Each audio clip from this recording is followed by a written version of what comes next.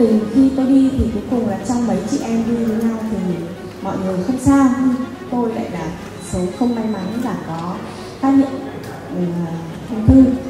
Tôi hoang mang lắm không biết là nên uh, mổ hay là nên làm như thế nào. Được sự tư vấn của bác sĩ Hương rất nhiệt tình và các bạn ở trong bệnh viện. Thì tôi cũng cảm thấy an tâm hơn. Và sau khi tôi mổ được đến hôm nay là ngày thứ hai thì tôi cảm thấy rất là rất là khỏe vì tôi phát hiện sớm, cho nên là tất cả mọi cái từ chi phí rất là thấp. Và cái thứ hai là sức khỏe hồi phục rất nhanh. Và cực kỳ là yên tâm vì bác sĩ toàn bác sĩ giỏi.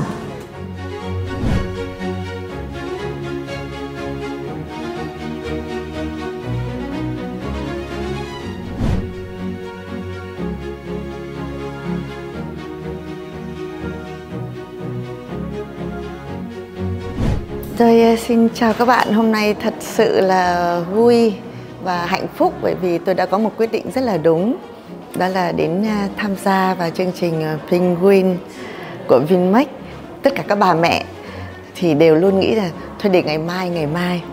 Như hôm nay đến thì nghe được các bác sĩ tư vấn rất là kỹ lưỡng thì thấy rằng không nên để đến ngày mai.